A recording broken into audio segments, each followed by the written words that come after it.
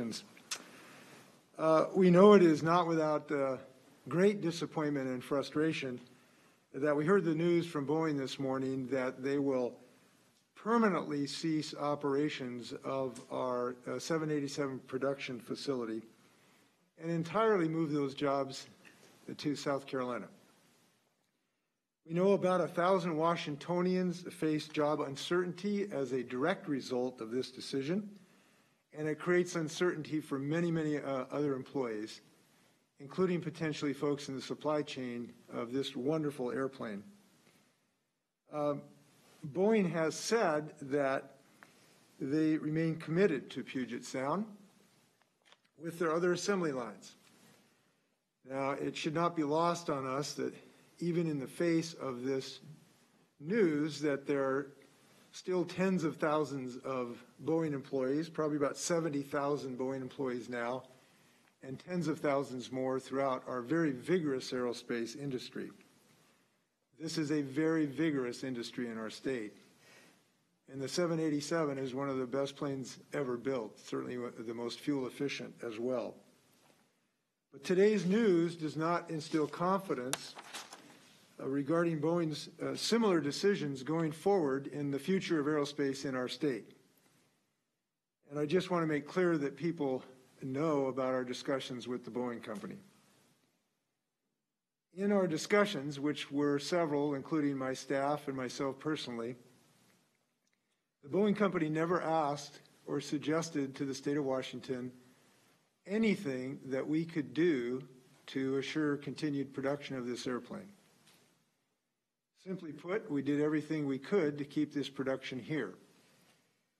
And what we know is, is that the dynamics of our partnership with the Boeing Company, uh, to some degree, uh, has changed, and we have a fundamental obligation to our taxpayers to consider that. We know that we have the best airplane manufacturing and design personnel, the people who actually do the work, are the best in the world. This is unequivocal by any stretch of the imagination. And we intend to stand up for them and their families and their jobs and the economy and fairness treatment for the taxpayers of the state of Washington. So it is appropriate and fitting to be disappointed in this decision. And particularly, and most importantly, in the fact that the Boeing Company has not even left on the table an option to restart the 787 line in Washington when this market rebounds. This market will rebound. People will fly. People will buy the 787, which is a tremendous airplane.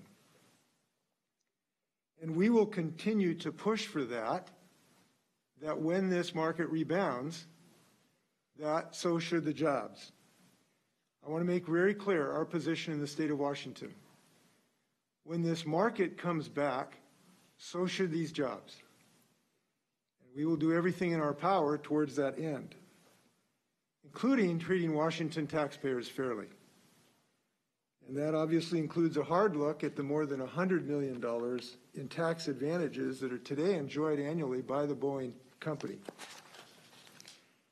Now, advantageous tax treatment, tax treatment is not the only thing that Washington citizens have done in the pursuit of aerospace in this and Boeing company here.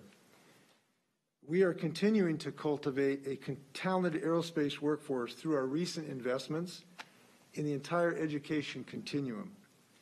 And we've created an even stronger pipeline for high-tech roles at Boeing through our Core Plus Aerospace Education program.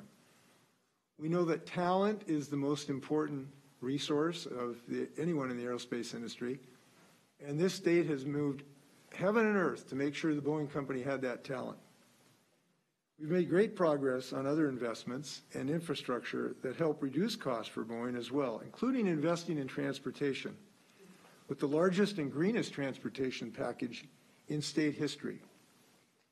We've worked to restore the Export-Import Bank, which is so important to Boeing's international business.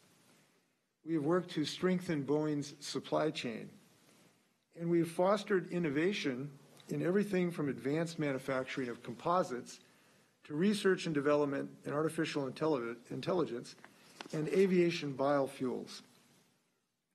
We've done a lot for and with the Boeing Company, and we're going to continue to work with the Boeing Company. But a review of this history suggests we have some thinking to do. Boeing got its start here and has been part of Washington for more than 100 years. I know that this is part of our families. It's certainly a part of my family life over multiple generations. We know it's a cyclical industry, and it's gone through many ups and downs. When you're my age, you've seen ups and downs with the Boeing Company several times throughout the decades. And through those decades, we have remained a leader on aerospace in so many ways. We've led, we're led by a workforce that has nearly six times as many aerospace engineering engineers as the average state. And I look forward to current leadership working to continue to strengthen the partnership we have with that company in all of these regards. And there's a good reason for that. Last year, the Teal Group one of the top analysis firms in the aerospace and defense industry, rated Washington State the number one place for aerospace design and manufacturing. That includes the number one ranking in terms of the cost of doing business. This is an important thing. We were ranked number one in the cost of doing business. That means best, not highest. Price Waterhouse Coopers gave us the same ranking. This year, Oxfam said just recently, we are the best place in the United States for working families.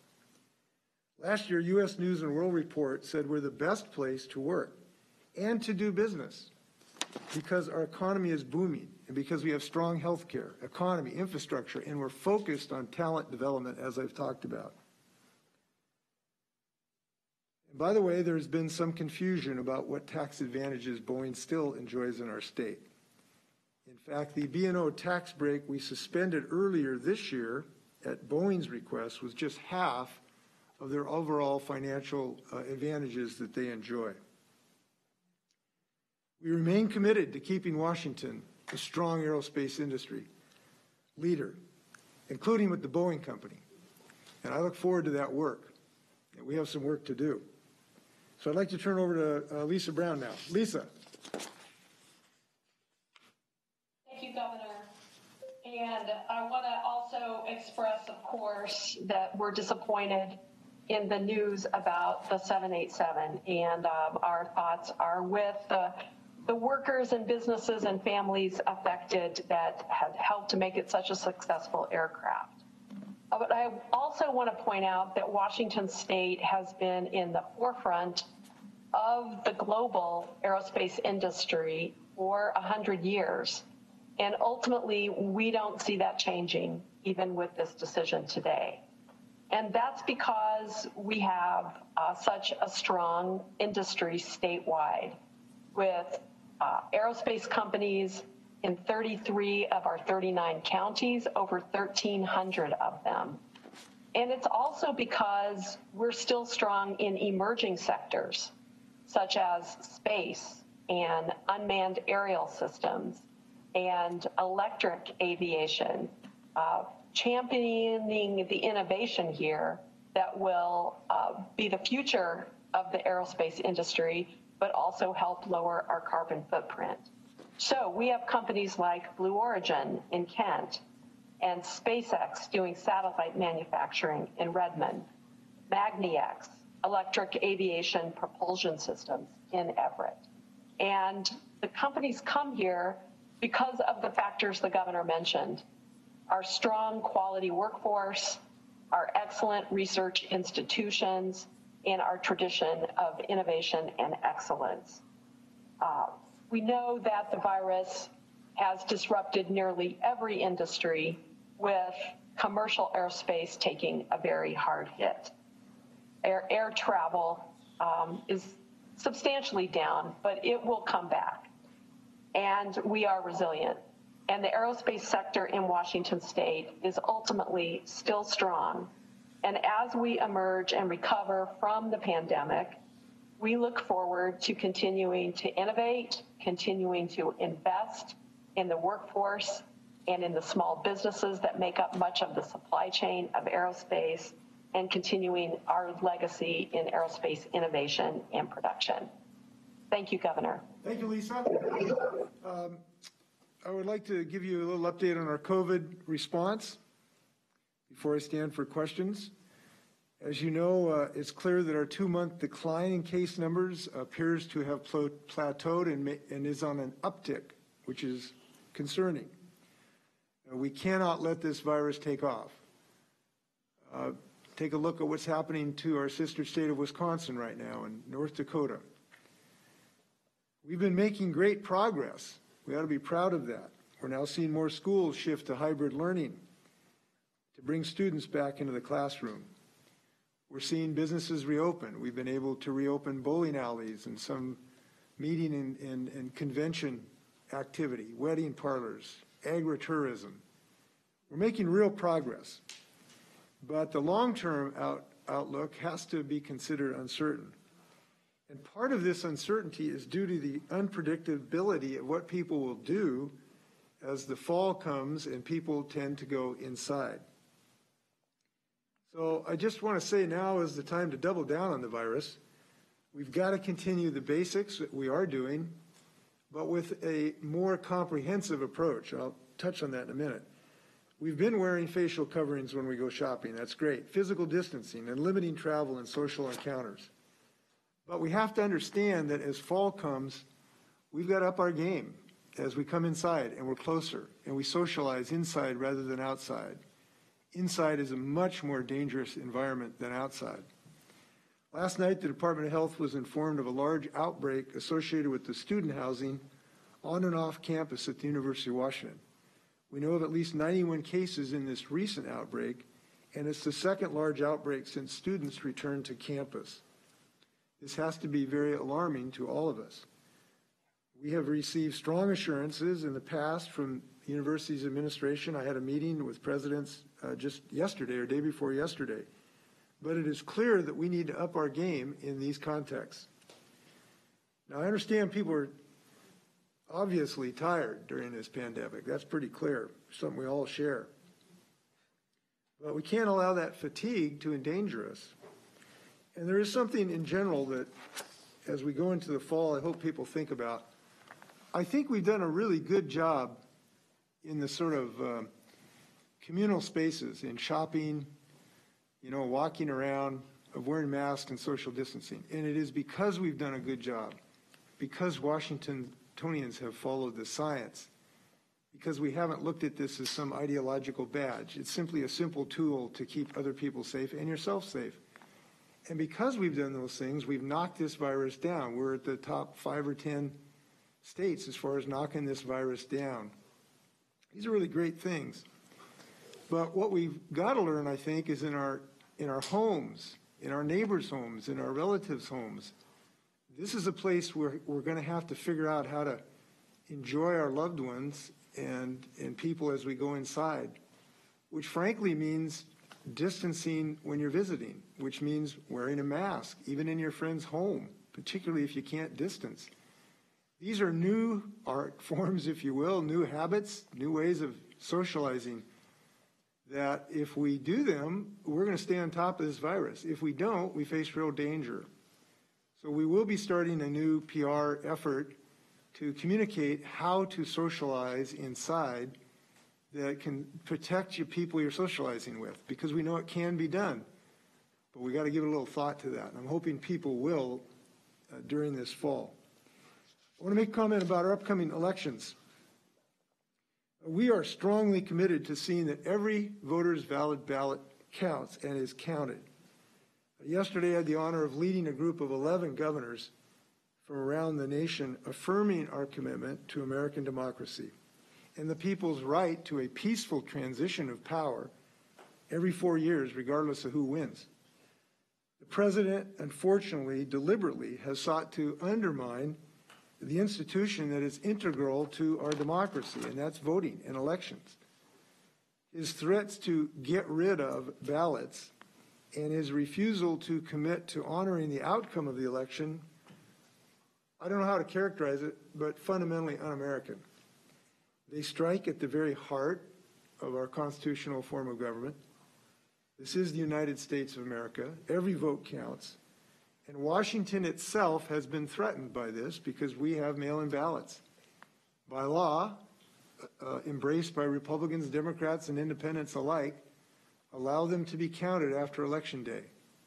Donald Trump is not going to get away from stopping these votes from being counted and depriving Washingtonians of the right to vote. But we have to be vigorous, and I'm again calling on all public officials to call on Donald Trump to cease and desist this effort to take away the right of people to vote in the state of Washington.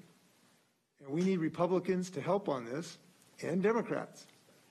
Otherwise, we're going to lose hundreds of thousands of votes that he is going to try, try to stop being counted. And if you note the outrage in my voice, it's because that's what I feel. And I think we all should feel that. So I hope people will pitch in on this effort. Uh, we have something to celebrate today, Jimmy Carter's birthday.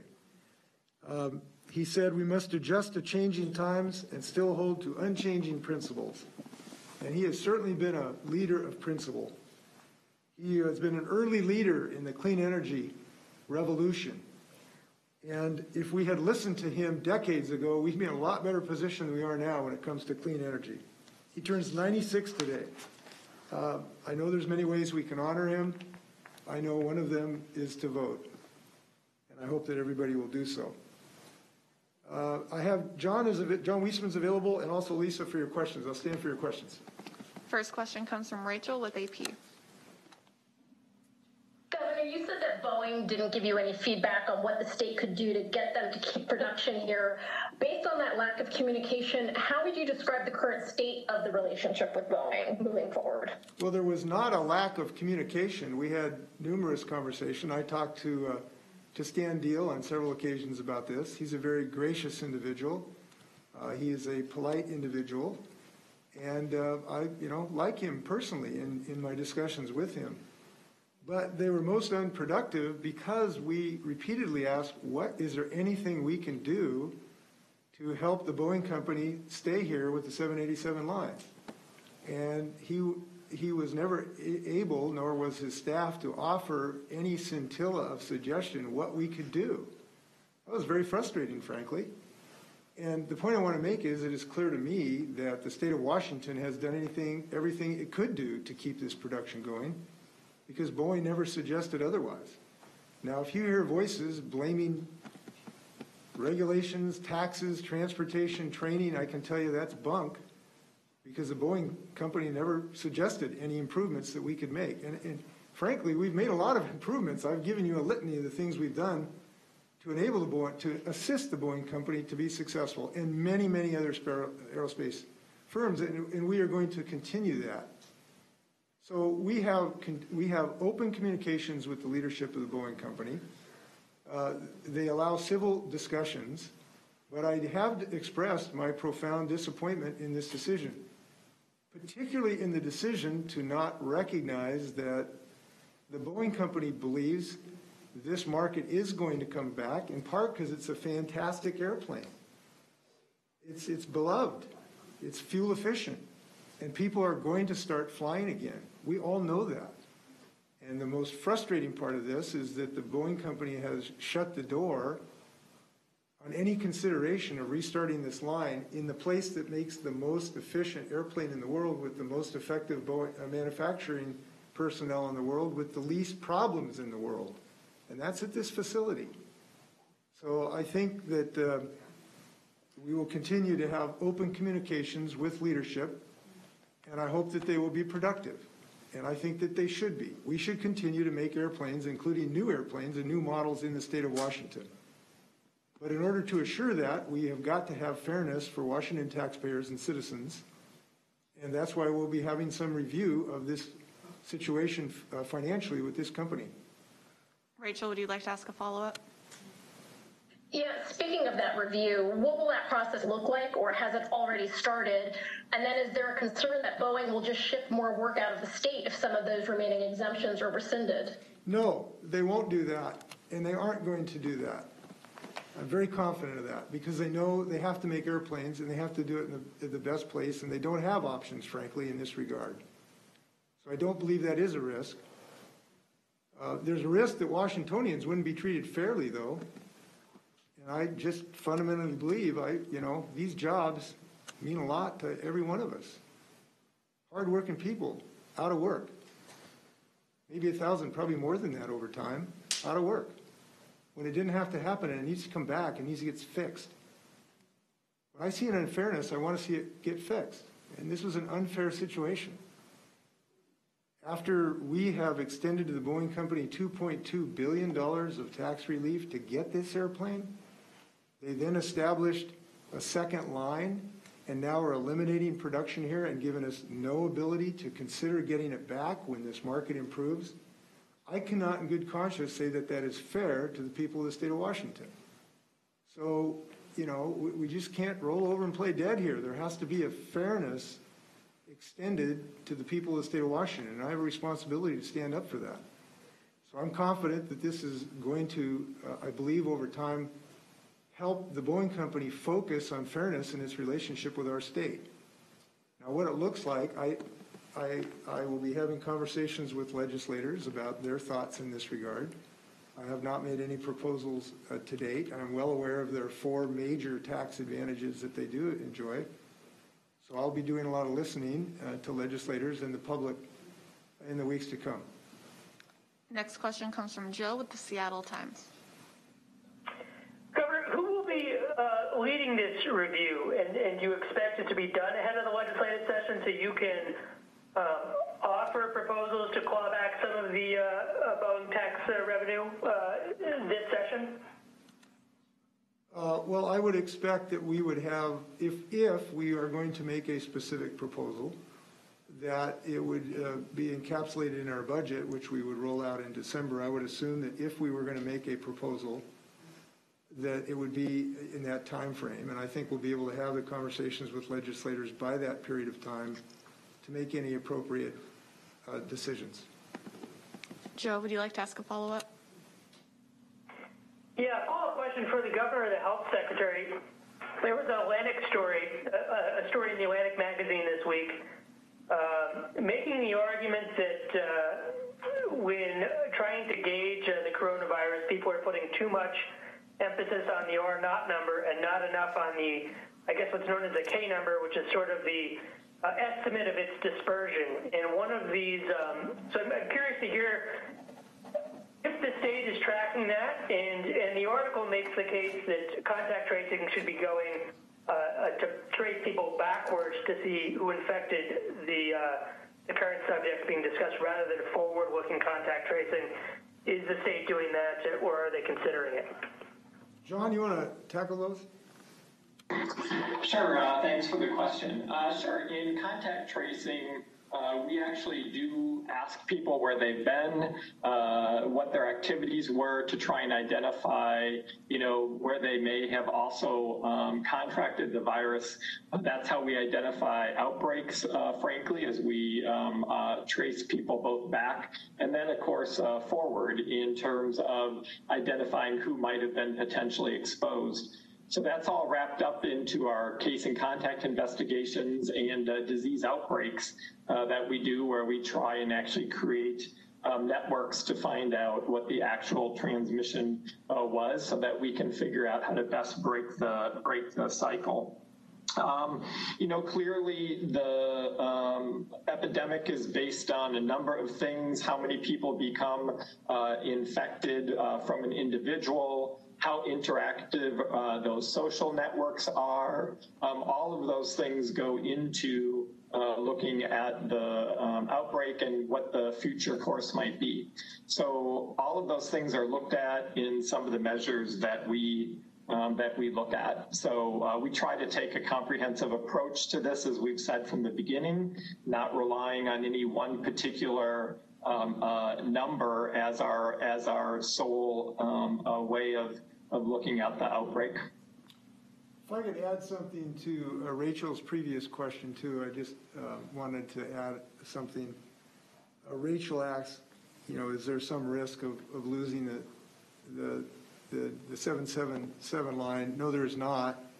And one of the reasons is, is in our uh, agreement with the Boeing company, they cannot open a second line. They were, essentially did that under the contract that was negotiated before uh, I was governor. But in this agreement regarding these tax breaks, uh, they cannot open a second line on the, on the 777X.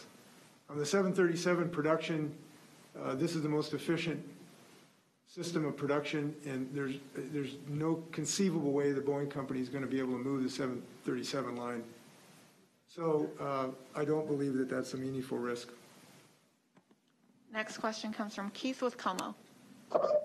Governor, the eviction moratorium ends October 15th. Are you going to extend the timeline on that? I, I probably, but we have not made a, a decision on that, so I'll have to get back to you as soon as we do. Keith, would you like to ask a follow-up? And I asked the secretary this yesterday. The number 75 per 100,000 is your benchmark for returning to school. Some counties are approaching and going above that. Pierce County in particular today has gone to 76%. Would you recommend they stop or put a pause on their in-school learning? John, I don't know if we've said anything specific. Right. So I think, again, we're asking, uh, as I said yesterday, communities to take a look at these numbers to see what makes sense for them. Um, and there are many factors that schools um, have to think about. We have issued uh, really strong, as I think we said yesterday, safety guidelines for schools, some of the strongest we think in the country. And, um, you know, that include the piece of physical distancing and wearing face coverings and, um, uh, you know, screening folks for symptoms, uh, all of which are important uh, uh, to keep our kids safe. Um, we do believe these are local decisions that local folks need to make. Um, our guidelines um, have uh, certainly said uh, first we want to think about bringing back our youngest kids to school, given that um, you know they are the ones who seem to have some of the least effect um, of this virus. And uh, we, we know school districts, you know, around the state who are also considering bringing school uh, kids back to school in a hybrid model, um, even before they reach the 75 per 100,000. Um, we want people having those discussions. We want people considering their individual circumstances. Again, if you have smaller schools, if you have smaller class sizes, you reduce that risk. So we have a lot of um, um, uh, belief in our local health departments and local school boards and administrators and parents who are wrestling with these, and uh, we're here to support them in those decisions. Next question comes from Jerry with the Everett Herald. Governor, you have said that Boeing uh, never asked for anything, but in February and March they did ask, and uh, they asked uh, you and the legislator to repeal, uh, rescind that tax break so it could deal with the WTO issues, and they asked that it be restored completely when the issues were resolved, but uh, you and the lawmakers agreed to rescind but not fully restore, and you added some new requirements. Do you not think that maybe um, they didn't ask because that was a pretty strong message, and I'm wondering why you didn't um, uh, uh, fulfill their request. I want to make this abundantly clear, and I'm sure Stan will back me up on this if you ask him. We asked the Boeing company on multiple occasions, including in writing, because I wanted to make this very clear, that we asked the Boeing company if there was anything we could do to assure or even more, make more likely that this production facility would stay in the state of Washington. I asked that to Stan several occasions. I wrote him a letter to ask him that question, and we were never given any suggestion whatsoever. Now, that's just clear. It's very unfortunate. It's very disappointing. We want to work with the Boeing company. We want to look for options. And we understand these market conditions that have been so difficult uh, for them. That's very clear. and That's why we have not raised our voices when they've had to, uh, to curtail some of their production. We understand that. But we understand also that this market is going to come back. And we understand we have the best workers who are now going to be thrown out of a job and their families out of work. And so we think we're doing the responsible thing. Jerry, would you like to ask a follow-up? What, what I'm Yes, pointing, yeah, uh, excuse- Jerry, just, excuse me, just a second. What I'm pointing out is the issue you raised never came up in our discussions, either in our conversations with staff, the Department of Commerce, or myself personally. Jerry, your follow-up? Yeah, just to clarify, the, t- the current tax laws apply to both Boeing and all the aerospace companies. So are you, as part of the review, looking to see if you have the power to uh, affect only Boeing, or do you imagine the entire aerospace industry will have to, you, your changes would affect all the industry? We want to, we want to affect the thinking of the Boeing company management because that's the group that has made these decisions. Next question comes from Essex with KIRO. Yes, Governor, you mentioned that uh, the Boeing company got 2.2 billion in tax breaks on the 787. Are you ready now to commit to getting that money back from Boeing for the taxpayers? Uh, no, I, I have not, first off, I have not made any decisions uh, categorical uh, in any specific dimension of what we should do here. What I've said is we ought to take a hard look at that financial relationship, and that's as far as my thinking has gone. I'm not thinking about it in those terms. What I'm thinking about is fairness, and fairness is we want to bring these jobs back in some meaningful way. And there are still very measurable, you know, tax advantages the company advan- has. They have a B&O tax credit for pre-production development. They have a B&O tax credit for property taxes on land and buildings and leases and manufacturing. They have a sales tax exemption for computers used in development, design, and aerospace services. They have a sales tax exemption for construction of new commercial airplane facilities. Every one of these means that some other taxpayer is going to have to pick up the burden when the Boeing company does not pay those taxes. And we are going to have an increased burden in our state because we're going to have a lot more unemployed people not paying revenues to the state that are going to need some services. So what I'm saying is we need to think in a rational, calm, dispassionate way about a way forward in this relationship. And I'm confident it will continue to be successful and this, this aerospace industry is going to grow over time in the state of Washington. But while we're doing that, we need a modicum of fairness for Washington taxpayers. And that's my job to stand up for fairness. And that's what we're doing.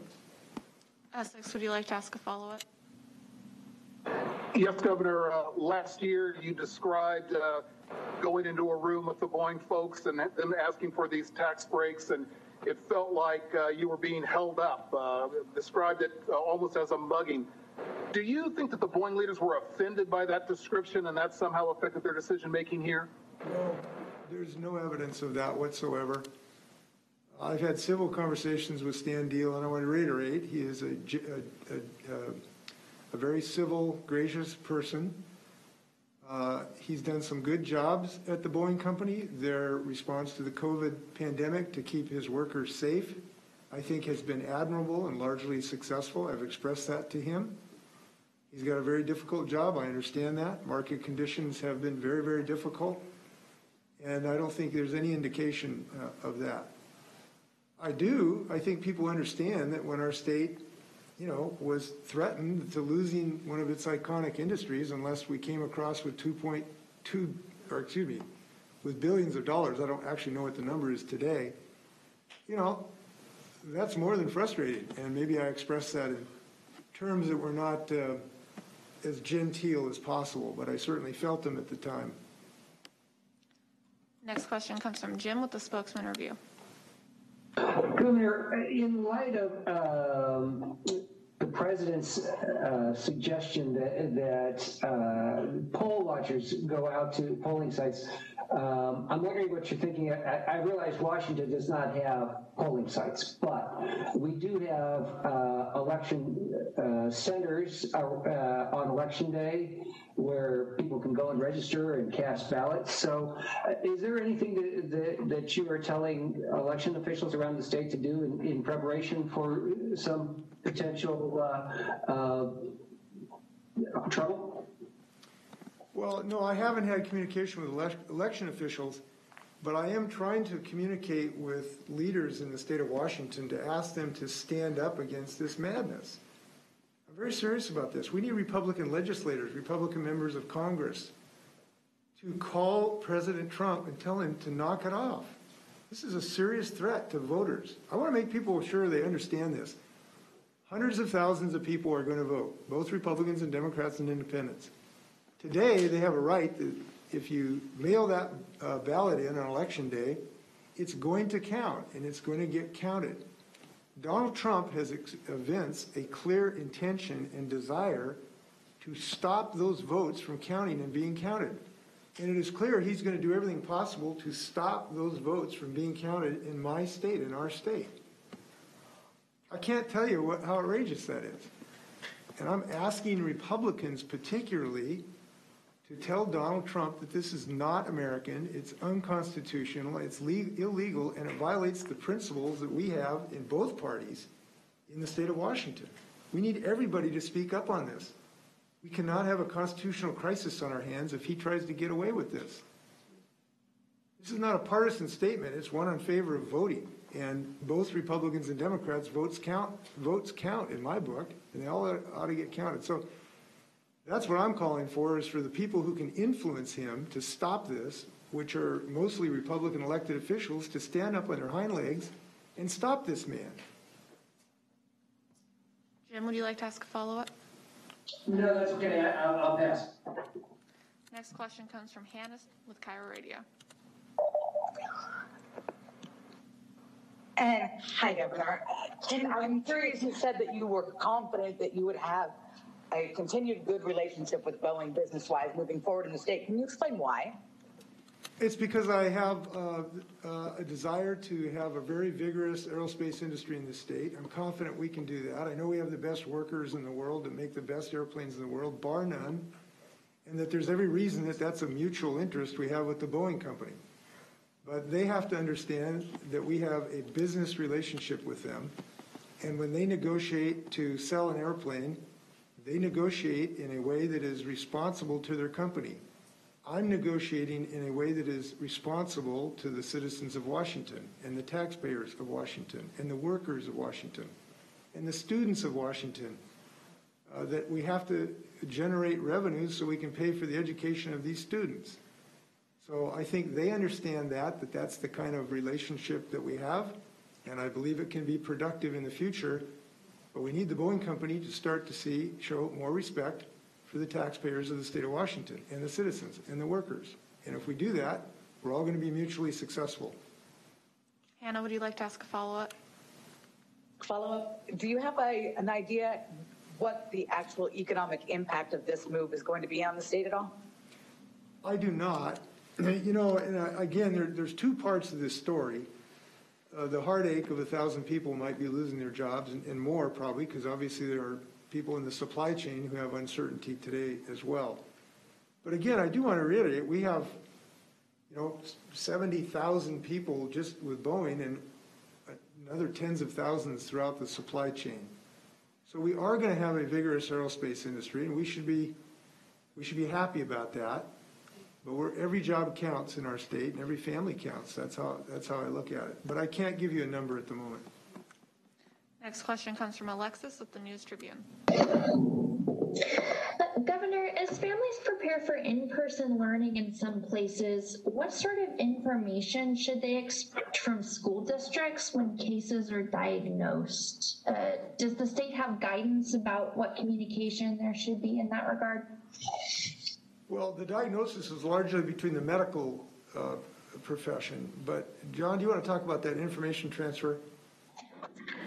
Right, so, um, you know, this is a piece where the local health department does the investigations and works with the school districts and uh, communicates to uh, parents uh, and students as they need to uh, in terms of any potential uh, transmission and when is the right uh, point in time to perhaps ask um, uh, folks to quarantine, et cetera. So some of this is really on a case by case basis um, as to the exact situation uh, that's being faced uh, at the time. So really we, we rely on our local health folks who are doing the work side by side with the school districts uh, and the administration there to um, appropriately be transparent uh, with information, uh, in particular making sure also that parents and students have the information they need to keep themselves um, healthy and safe. Alexis, would you like to ask a follow-up? No, thank you. Next question comes from Veronica with KNDU TV.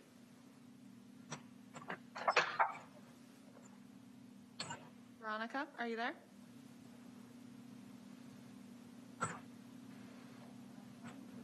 Back to Veronica. Next, we will go to Paige with KUOW.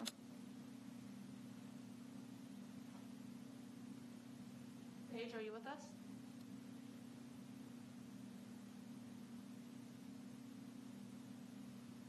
Seems like we're having technical difficulties there. We will now go Hello, Governor. Um, you, you really take a very different tone in your statements today than uh, Mayor Franklin of Everett and uh, Executive Somers of Snohomish County did. They took a tone of, of support, understanding, uh, and, and frankly, they characterized your statement this morning as being divisive. I'm wondering how you would uh, respond to that.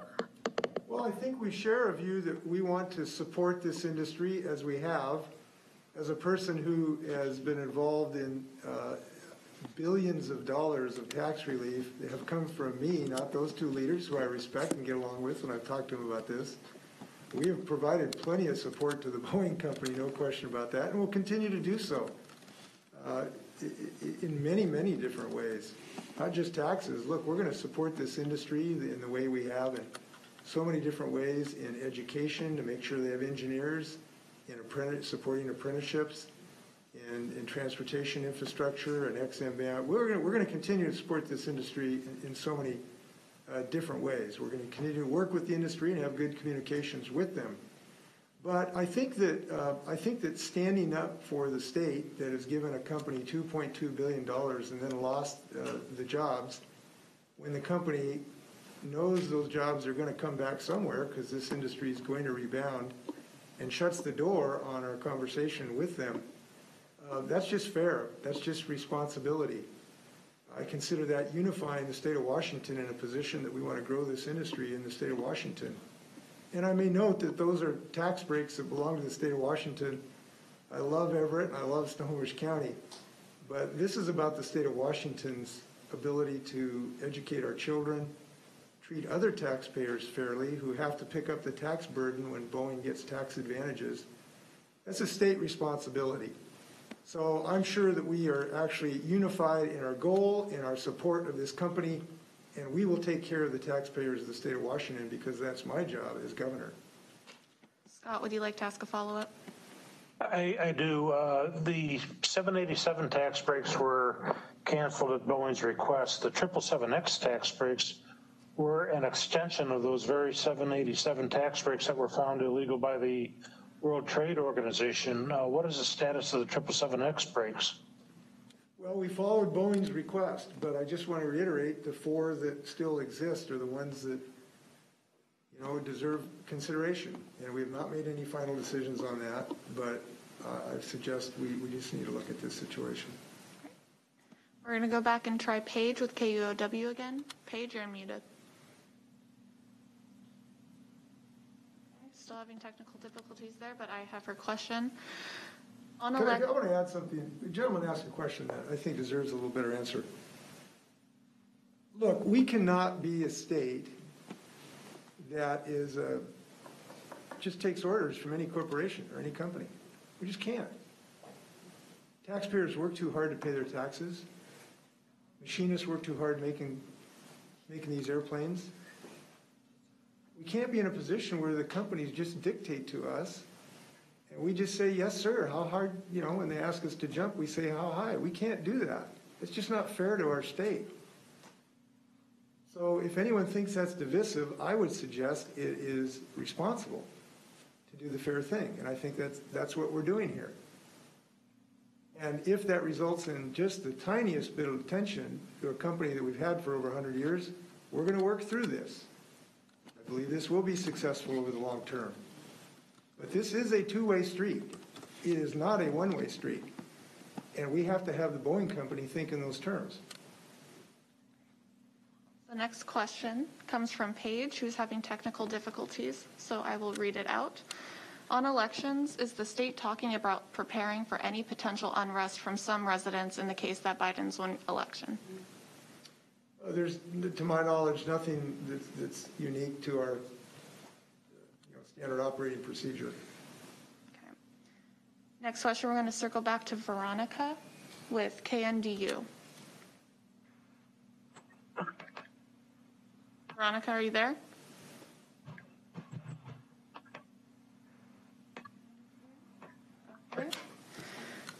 We're going to move on to Shelby with KAPP.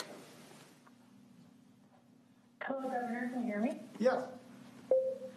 Hi. Um, I was going to tie back to the importance of families and jobs in our state.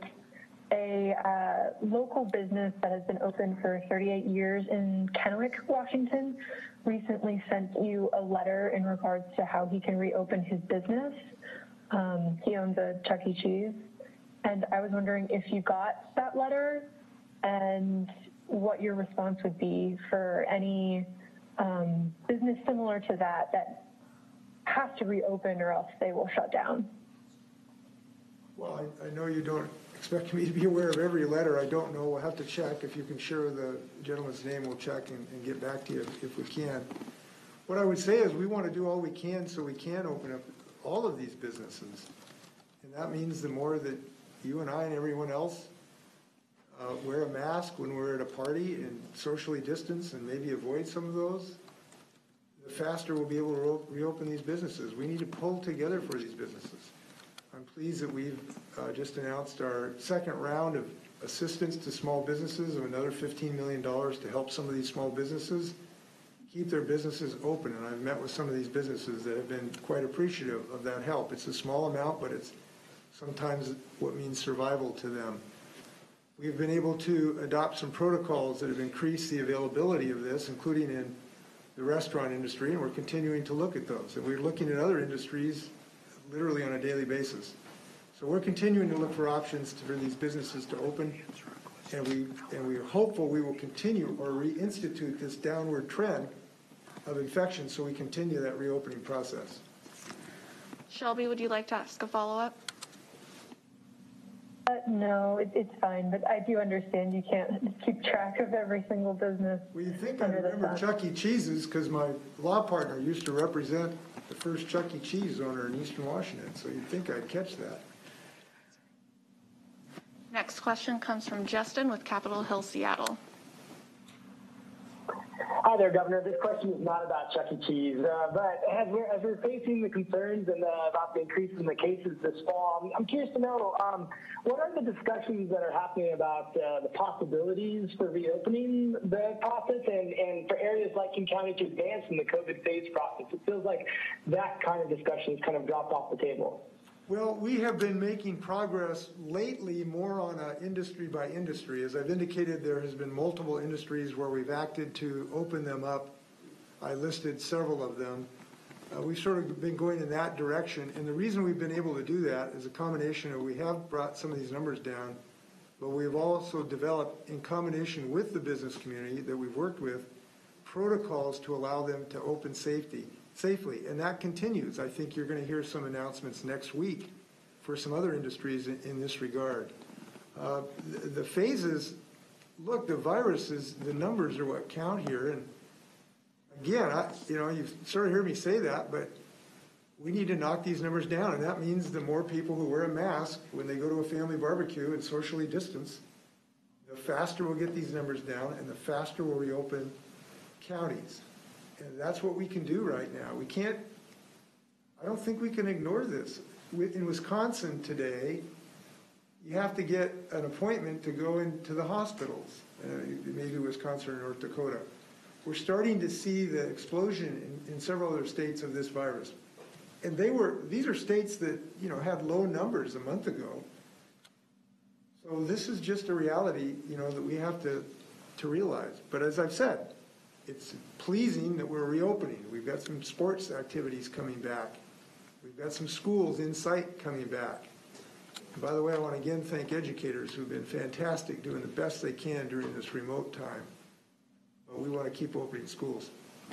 Justin, would you like to ask a follow-up?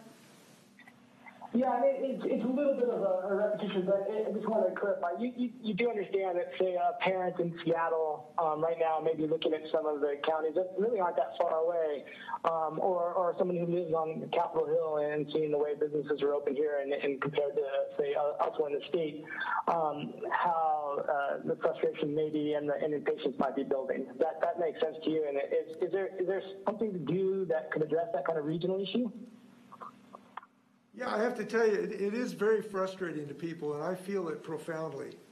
Every business that has to close its door, I feel. These businesses are great people. They've invested their life savings. They've worked. Their family's involved in it. They might have a dream. Look, I feel every, you know, I don't know every one of them, but I know they're out there, and I feel them. And I want to do everything I can to help them out, consistent with not allowing this to ravage our community. So I just want to assure you that I, I recognize that. I also recognize the frustration that things are different from place to place, across county lines. That creates frustration because people might be on two different blocks divided by one county line and the rules are different. That's frustrating. I get that. I'm not sure how we resolve that totally and still have some degree of individualized treatment. We could avoid that frustration by just having one, uh, one phase, one category for the whole state. That would reduce that frustration. But it would mean that areas that have very, very little or no pandemic action could not open up their businesses just to avoid the frustration that you have evinced. We've decided to have a phased approach where certain areas can move forward because they're in better shape. I think that's the right decision, but it does create that frustration you've talked about. And I'm dedicated to reopening these businesses as fast as we can safely. We have time for one more question, and after that, we have David Postman on the line who has something to add. The question comes from Veronica, who's having technical issues from KNDU. The health officer at Benton Franklin Health District said last week that state leaders were actively reevaluating the state's reopening metrics. Can you confirm this? And if so, what changes can we expect? We are constantly evaluating these metrics. It's a daily thing. I can't tell you there's been any seismic shift in that, but we are constantly looking if there's a way to adjust any of these metrics based on the new science as it comes in and based on what we're observing on the ground and based on what we're learning from this. And we are learning things. We're learning about treatment. We're learning about what protocols work. We're learning about how to inspire people to wear masks and where they do it. We're learning about where people actually are doing that. So I, I would say this is a constant iterative process. There will be changes in the future, I know, and I can't tell you exactly what they are as we learn more. Now we'll go to David Postman, who has something to add. One second. I wanted to clarify two things if I could. Once to, to Jerry's question about the uh, bill the legislature passed this year to fix the WTO matter. One, uh, uh, Jerry, I think you're uh, misremembering what the bill does. You should look, I think it's deep in section three. It talks about after March 31st, 2021, uh, we can go back to a preferential rate if certain things are met. One of those things is uh, resolution of the WTO issue. Um, and just to be perfectly clear, uh, the bill was negotiated um, with Boeing. I, I, did that on behalf of the governor, and um, I can assure you that there was nothing in that bill. Um, they didn't love it all, but in the end, they agreed to it. And by no stretch of the imagination is there anything in that bill that they or anybody else would read as a sign of a lack of uh, support for the industry or the company. They uh, were with us on that, and we did not give them the bill they wrote in the first place, but it was a really productive uh, process. And then on, along the same lines, to follow up on Essex, just because again I was in the middle of this, um, that bill was negotiated after the governor's comments that you referred to, um, and we actually had the most productive and positive uh, uh, meetings that probably we've had with the company, and that has continued. The governor's uh, spoken about uh, uh, his respect for Stan Deal, and I can tell you, uh, even as late as this morning, they remain civil. And I would say since Stan Deal came into that office, we've had the most open uh, relationship with the company in, in our eight years here. Uh, and we really appreciate that. We disagree on some things. They disagree on some things that we've said and done. Um, but it remains very uh, uh, professional and productive and candid, really at a, at a great level. So any idea that uh, uh, words said at a, a, press conference or something of this sort or history over a bill has led them to make a major financial decision to move final assembly just, just is not uh, uh, true, um, and I, I, would expect the company would uh, reaffirm that, uh, even though, again, they don't support everything we uh, say or do in in the company. So, uh, thanks for giving me the opportunity to clarify that. Yeah, I just want to uh, reiterate what David said. Uh, Stan has uh, been very actively interested in opening communications with us, and I've enjoyed that uh, during his tenure, and I want to credit him for having open communications, and I trust that that, that will continue. Uh, I do want to reiterate on that question, and maybe I've said it three times. At no time whatsoever was that a bill or any of the things around that bill requested changes by the Boeing company during our discussions of the 787 plant. Zero, and I just want to make that clear. Any final words, Governor? No, thank you very much. Uh, please take care of your health. Mask up.